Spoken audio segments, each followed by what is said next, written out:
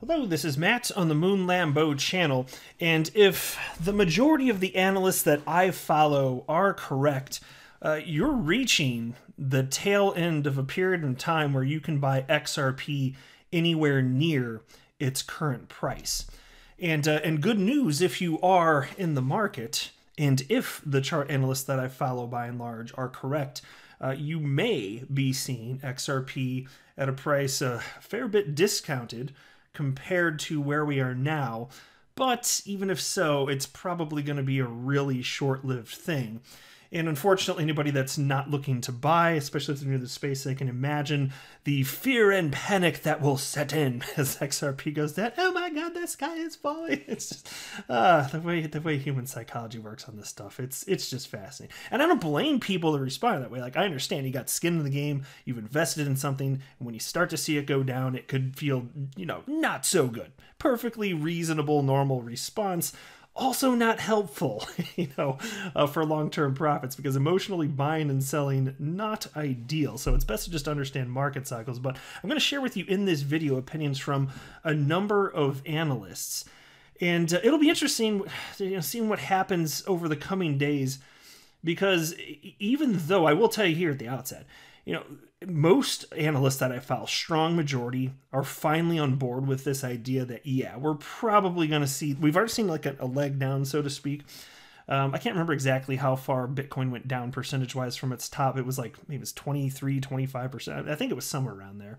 But pretty much uh, everybody's on board at this point with the idea of Bitcoin having another leg down, which will drag down the rest of the market. And so when I'm talking about uh, last opportunity for XRP at these prices, I know famous last words, right? Well, it, depends on whether or not these analysts are right, though. But uh, I'll tell you, over the last few years, how many times have I heard you'll never be able to buy XRP at these prices again? I've been hearing that for three years. Except for this is different because we're actually finally, for sure, in a, in a bull market here. And so if we do see a dip down a bit, and I'll talk about that in a moment, specifically what that might look like, uh, in, in this particular case, they're all calling for a market rebound. So if that happens, holy freaking hell. I mean, you're to see, I personally believe that you're to see XRP rally along with every other large and mid cap coin, uh, which is what happened uh, last market cycle. Literally, I've told, I've been saying this, sorry, I've been saying it too much lately, but uh, for, for those of you that are new, in November 2017, I was new to crypto. I bought 17 different cryptocurrencies and every single one of them went parabolic, just like rocketed off the charts before ultimately retracing like 80 or 90 plus percent, undoubtedly, but uh, they all did rocket up. And so humans are behaving the same this market cycle. That's what I'm seeing. So I think XRP and everything is going to have its turn here. Um, so the question becomes then, if that is indeed the case, if everything's going to go, it's like what's going to pop first? That's a fun game to try and play. Uh, I don't know how well we're going to play it successfully, but I do think everything's going to pop here. And then the question after that is once it hits whatever its high will be for this market cycle, first of all, I suspect it'll be it'll hit its all-time high and smash past it. Don't know for sure how high. A lot of analysts are still calling, like Blockchain Backer says, ten to thirteen dollars. DIY investing, he still says, you know, ten to thirty dollars. I think Credible Crypto is, is somewhere in between there also. Uh, so there's all sorts of analysts that still believe that will happen this market cycle, but it makes me wonder what kind of retracement are we going to see? Because if you're talking about you know going up to even just ten dollars, if you see a ninety percent retracement from ten dollars, you're still looking at a low XRP price for the bear portion of next market cycle of one dollar, and and so I don't think about it though. You know, XRP it did get down even this market cycle to 11 cents this past March. So who knows? It's certainly possible. Um, I, I should mention too, I don't have a financial background of any kind. I'm not offering financial advice, and you should not buy or sell anything because of anything that I say or write. I'm just an enthusiast in this space, and I make YouTube videos purely as a hobby. Now, as I record this, XRP is at 44.4 cents. Bitcoin is at $47,779. Market cap for the asset class one trillion five hundred twenty-eight billion dollars, and Bitcoin dominance fifty-eight point two six percent according to Live Coin Watch. That's if that's accurate, that's the lowest I've seen it in a hot minute. That's for damn sure. Um, oh, by the way, the Spark token. Uh, this is the the IOU uh, at sixty-one cents worth more. This IOU for the, for the Spark token is worth more than XRP currently. Uh, but, but you know what? I'm not even mad. I'm not even mad. You you slap the XRP price on top of that. I'm like, whew, all right, we got something now. um, and so I was watching a, a video from my fellow XRP YouTuber, the Blockchain Backer, earlier today, and he wrote this on, on Twitter too about it. Get it this weekend? Question mark. Big moves for Bitcoin as the altcoin market follows the, the lead down. And so the question I keep seeing everybody ask every chart analyst all over Twitter is are we going to see lower prices? Should I buy in right now if I'm looking to make purchases? And look, it's in the end, it comes to you. Like I, am never going to offer financial advice. Um, I'll share with you what some of these individuals have to say here. Um, blockchain backer, he is still firm on the idea that uh, we will be seeing roughly $38,000 Bitcoin uh, in the short term. Now, in the coming days, it doesn't mean that you couldn't see even a brief bit of upward price action, but even if we see that, it doesn't mean that uh, that, that the that the pattern that he sees in the chart would suddenly magically be invalidated. It doesn't mean that's going to happen. That's not what he's saying. Prices are volatile in crypto, and just because for a brief moment in time, because you're staring at the charts and you're hyper aware of price, even just because at a brief moment in time you see it go up, it doesn't mean that trend's going to continue. The charts are telling the analysts that I'm following, which have uh, these analysts, they have almost all of them massive followings for well-deserved reasons. You know, they think that it is going to go down. You know, and so it's never a certainty, and so I always keep that in the back of my mind, but usually when you see this type of alignment on an idea with these types of chart analysts that uh, have, you know, massive followings that are well deserved, more likely than not, the patterns that they roughly expect to play out end up playing out. So if I had to bet, I'd say, yeah, they're probably right. You're probably going to see Bitcoin go down to whether it's 38 or 40,000 or somewhere thereabout. It's going to make XRP go down. Um, many analysts are saying, I think Credible Crypto the other day, was saying maybe you'd see XRP in all likelihood, maybe 35 cents. He said in an unlikely scenario, I, I, I don't think I'm putting words in his mouth. I think he said you, you perhaps in an unlikely scenario, you could see XRP wick down to 25 cents, but he's not expecting that even. Um, and so that's kind of the range. But, you know, the, on the question of like, should you buy now? Well, look, here's another person. So now on to the next tweet. This is from, um, somebody named DM was asking if, if uh, Credible Crypto if he if he thinks that uh, Bitcoin's going to be going down further, and he just wrote simply, "Don't think it's over over yet." And in this tweet, uh, somebody named the Bob asked. Uh, credible crypto what do you expect in term you know in terms of bitcoin price action everyone is talking about 38000 to 42000 dollar dip but i am afraid to miss my chance to fill my bags and that is the risk you take because if the analysts are wrong and you're not filling up now when you could if it breaks to the positive, then you're going to have to buy in at a higher price if you still choose to buy in, and that's that's the risk. That is absolutely the risk. Um, but as far as this region that was cited here, 38,000 to 42,000, Credible Crypto wrote, looking for that same region. And so that's another analyst that is saying, absolutely, that is what I'm looking for. And so um, I, I, you guys make your own calls. You guys make your own calls. But uh, I, am expecting that these guys are right. And at some point, even if we happen to see uh, over the next day or two, and that's an if, even if we happen to see a little bit of upward price movement, it just seems more likely to me to me based on what I'm seeing from so many individuals that are coming to these conclusions on their own. Uh, that you're going to see some downward price action, but to me, like this doesn't make me scared, mind you.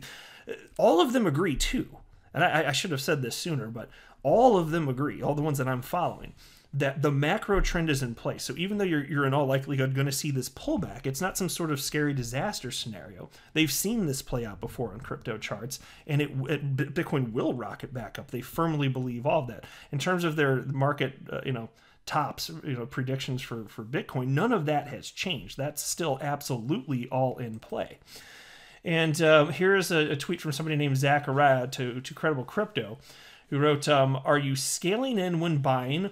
Or you just waiting? Like question mark. Like you buying all the way down or what? And this is interesting. So here's the way that he's he's talking. Mind you, Credible Crypto. Um, he's now got 125,000 followers, and he put a tweet out somewhat recently, actually highlighted on the channel when, uh, you know, he, you know, just a few years back, the last market cycle. Uh, I mean, he, he was new to everything, mind you and uh, he was talking about how he was making all the same typical newbie retail mistakes, effectively, where you know um, you're um, basically FOMOing in and panic selling this or that, and now he learned from all of that and he's doing the opposite and he and he's he's gotten spectacular at technical analysis and now has a massive following of 125,000 followers.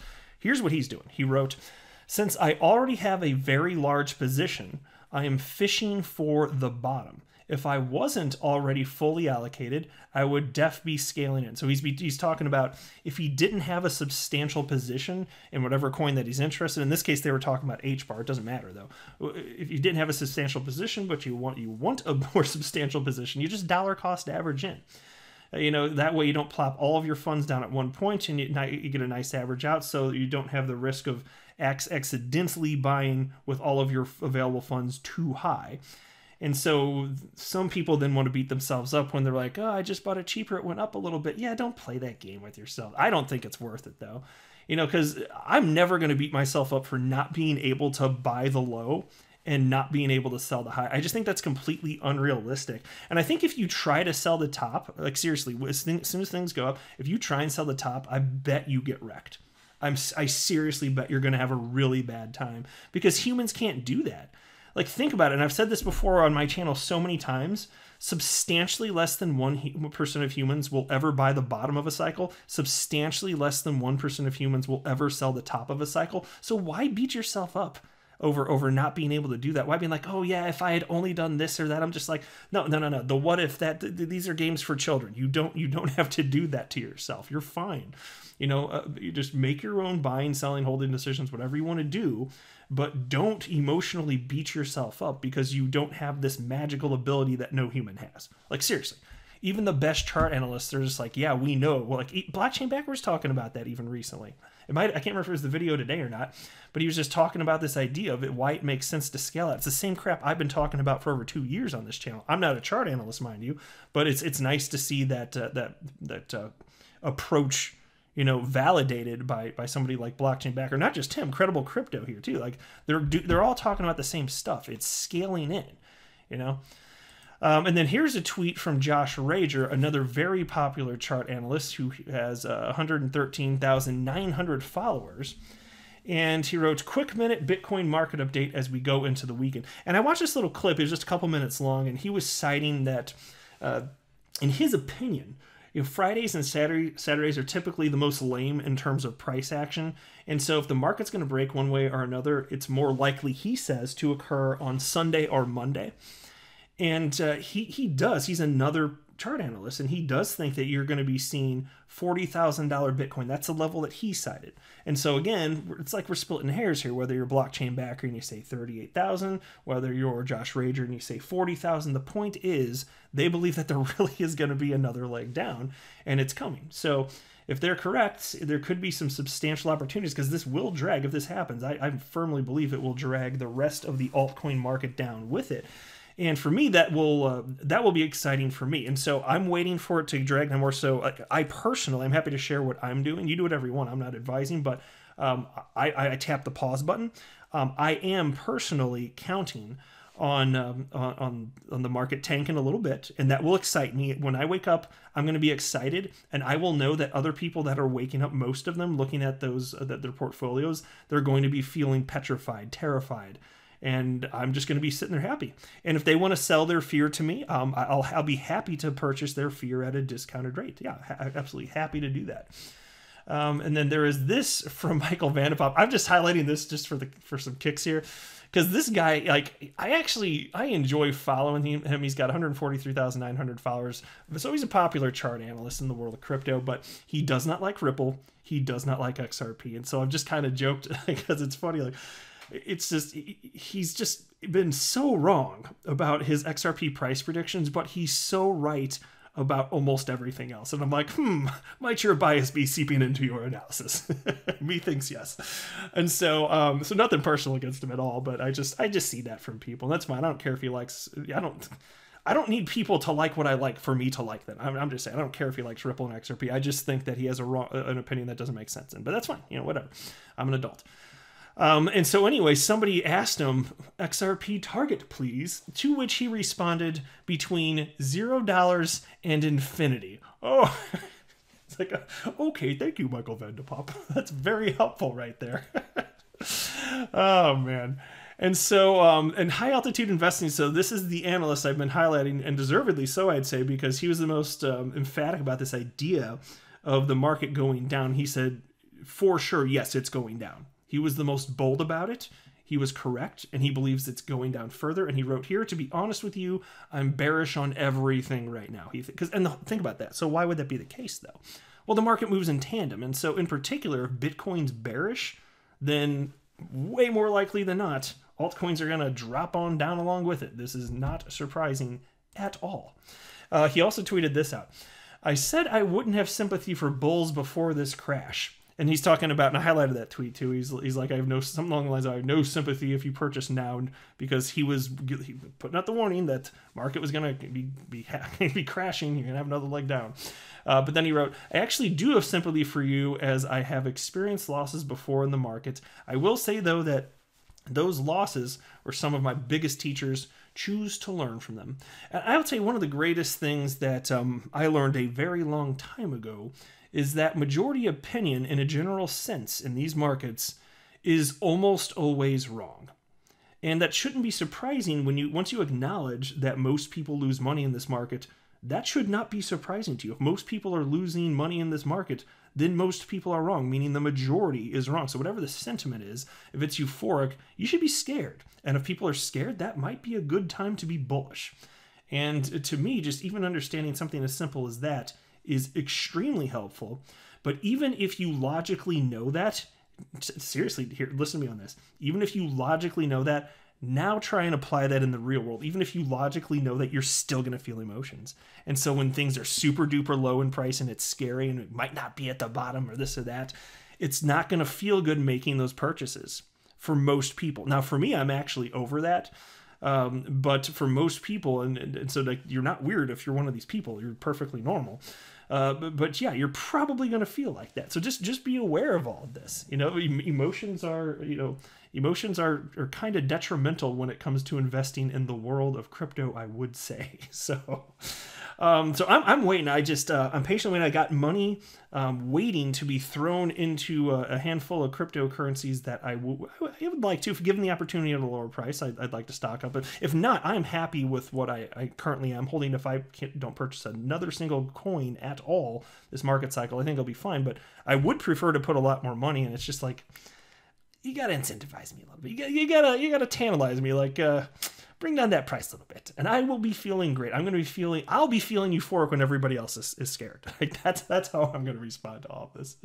So um, so that's kind of what we're looking at here. We're kind of in a little bit of a limbo just like i was kind of saying yesterday according to all these chart analysts but we're not going to have to wait that long. We could see something tomorrow but maybe josh rager's right and we're going to have to wait till sunday or monday to start to see which direction this thing breaks but i'd be willing to bet that these analysts are correct, and we're probably going to be seeing some serious action to the downside. So, um, even if you're not looking to purchase, uh, it, it, doesn't mean that it's time to, to panic and be scared. At least you're informed now, even if you're not in the market to purchase more crypto. Uh, but for those that do want to purchase more, uh, if there's a discount like me, perhaps, perhaps, then uh, yeah, this could represent an excellent opportunity. But um, I'll go ahead and wrap up there. I am not a financial advisor. Do not buy or sell anything because of anything that I say or write. That would be a very, very, very bad idea. Until next time, to the moon, Lambo.